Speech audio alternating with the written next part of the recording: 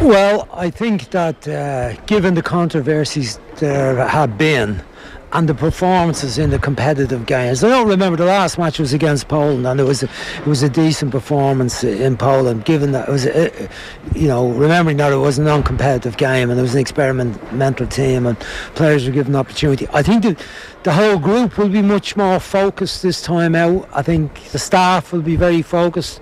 I would hope that Martin and Roy uh, come up with a, a, clear game plan for each of these games. Is there and anything to suggest they will?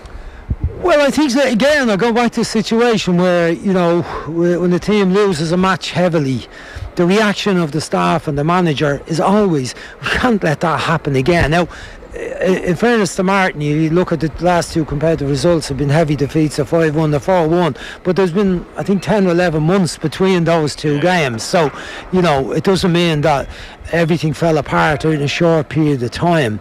Uh, I think it's difficult for them because of the lack of outstanding players. But I think they brought some of the trouble on themselves by. Um, uh, I would say, you know, the reaction to certain situations.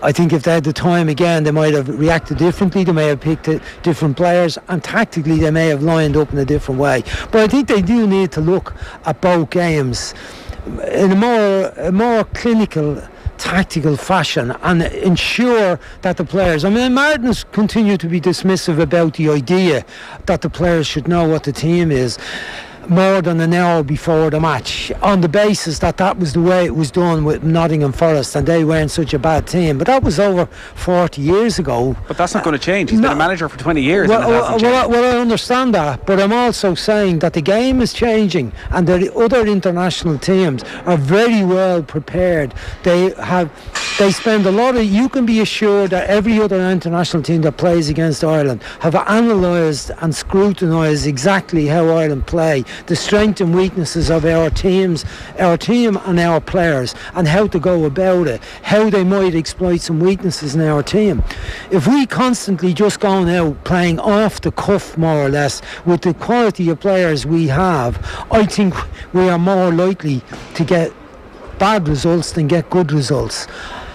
If we had if we had a group of outstanding international players, outstanding club players who are coming in to play in the international team and who know what their jobs are and who know their roles and prepare and are quite capable of making their own decisions and implementing a game that's effective home and away against good class opposition, that's fine. But we don't have that at the moment. We have we have a, what I'd, I'd say is a team with no outstanding players, no world class players, despite, you know, Martin maybe name checking um, Seamus Coleman as a world class international player. I don't think he is at this stage of his career. He's had too many, you know, he's been out injured for mm. successive periods over the last couple of years, and it's great if he is back playing. He's not at the moment. Again, he's out injured.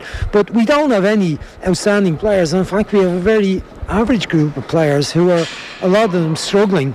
Um, at their clubs and struggling to get permanent places at their clubs are all players who are playing in, in the championship. So with that group of players, I think it's imperative that we have a game plan that, that the staff understand and that the players understand and that there's options within that plan to, to, to, to change the plan and change the tactics according to how the game is going on and the scoreline is.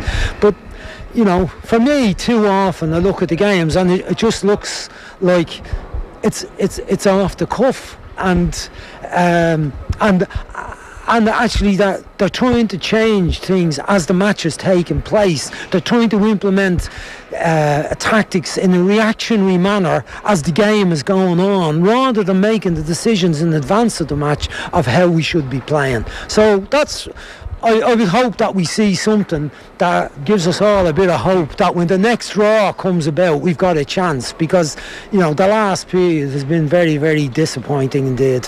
I'm sorry I asked. great, stuff as, great stuff as always. What's wrong with that? Great stuff as always. We'll talk to you soon.